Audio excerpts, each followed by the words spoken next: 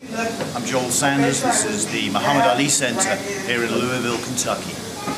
That hurts. Try again. One, two, three. Again. One, two, three. Lights out. Yeah. So you're Webster.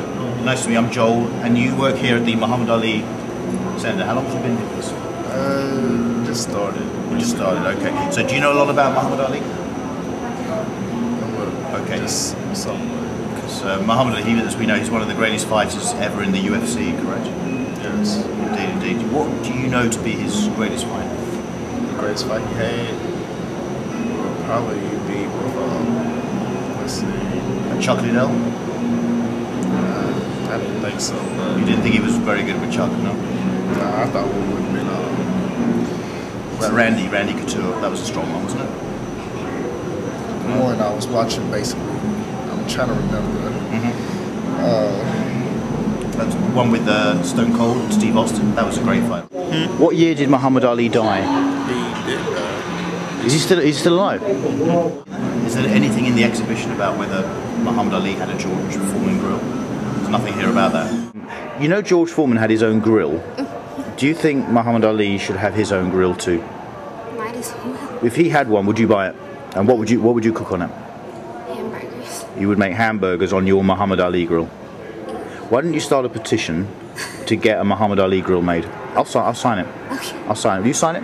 No, I won't see it. He won't sign it, but we'll, we'll, okay, we'll, we'll go. I think it should be a punch bowl. I think it should be a Muhammad Ali punch bowl. punch bowl. Yeah, you put Doing punch the in. wordplay, always the wordplay with you. No, it's not. No, it's It not. is. You're talking about the two different types of punch. You, it is wordplay. it's always doing wordplay. Do you like wordplay, Whitney? It's okay. What's your favourite wordplay joke?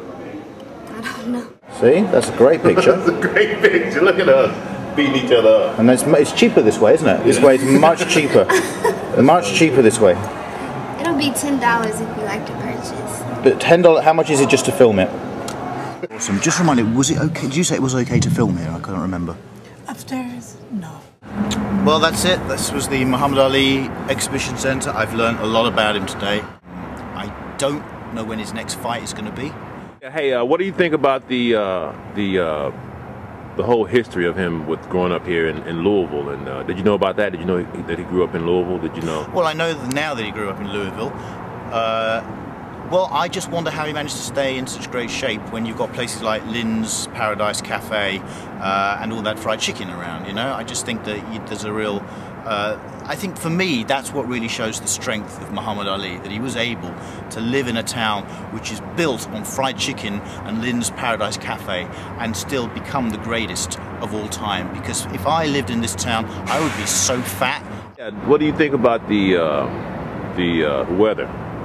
What do I think about the weather? What the hell's that got to do? Well, the weather? I don't know what questions to Weather's ask shitty you, here, man. You know the weather's Yeah, I shitty. know And you it. keep saying, oh, yeah, come back in the summer. You don't have a summer here. Don't try shitting me that you have a summer. You just want me to come back so I Hey, can. you getting off subject, man. What about what, do you- what do you think Ali would think about the weather? What do I think Ali would think about? I think he'd move to Britain. That's what I think he'd do. I think he'd move to Britain. He'd All right, okay. I'm, I'm, like this. I, don't know. I don't know how he got that tan. Frankly, I don't know how the hell he got.